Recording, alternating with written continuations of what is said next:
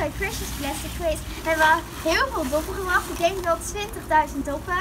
En het was echt super leuk. We mochten ook eh, zelf de doppen snipperen.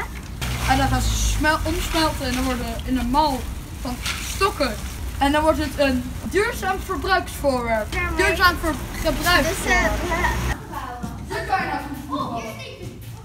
Daarna zijn de plastic balken gemeten en op maat gezaagd. In de balken zijn heel veel gaten geboord, zodat je op allerlei verschillende manieren de balken aan elkaar kunt vastmaken. Net zoals bij Lego. En toen kwam de burgemeester bij onze school om het gebruiksvoorwerp te onthullen. Ja, jullie weten wat eronder zit, hè? Echt niet? Jullie hebben het toch ontworpen?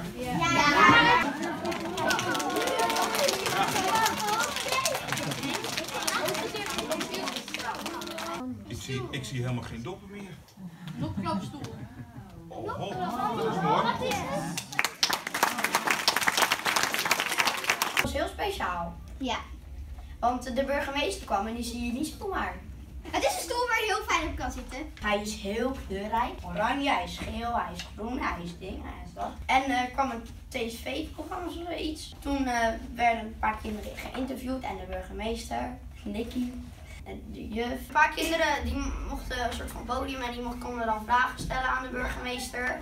We hebben er ook een handleiding bij gekregen. Wij hebben hem net omgetoverd weer in de stoel. We hadden hem heel veel uit elkaar gehaald. En je kan er dus ook een tafel van maken. Tafel van maken. Dit is de tafel.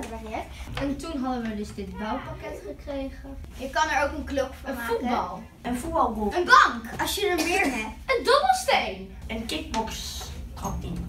Een paard. We hebben met dit geleerd om uit elkaar te We hebben jou leren kennen. Rekenen. Plastic is heel mooi materiaal. Kan heel lang, is heel lang houdbaar. Zitten, want- plastic dan gaan ze gelijk weg. de natuur. Want dat is heel slecht voor de natuur. En, En dan leven we straks niet meer. Nou, dat is slecht voor onze toekomst en voor iedereen's toekomst. En het is gewoon slecht.